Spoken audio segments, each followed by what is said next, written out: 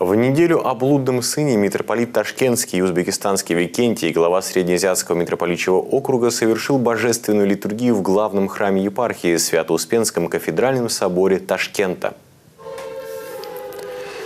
Продолжающуюся седмицу, начало которой было положено воскресной литургии, именуют неделей о блудном сыне, потому что за богослужением была прочитана евангельская притча о том, как отец радостно принимает вернувшегося в дом сына, который до этого жил распутной жизнью и расточил все свое имение.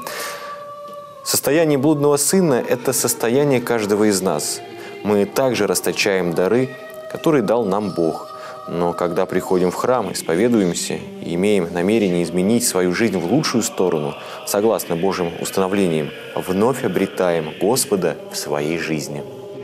Очень важно, чтобы мы осознали свою жизнь, что она нас приводит к вечной погибели, если эта жизнь является. И есть возможность избавиться от этой греховной жизни и сподобиться вечной радости Царства Божьего.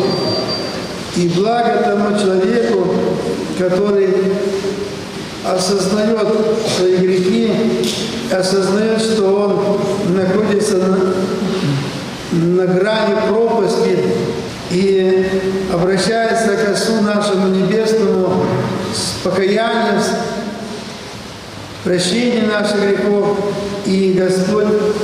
по своему милосердию прощает нам и дарует нам свое, восстанавливает наше сыновство, и мы соединяемся со Христом и можем шествовать по пути Царства Божия в этой земной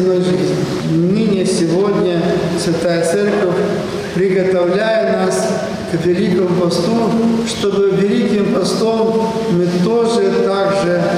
действовали, трудились, молились, постились и заботились о ближнем своем, чтобы их тоже отвращать от ложного пути своей добротой, своей любовью, своим милосердием, своей кротостью, своим смирением, добротой и милосердием.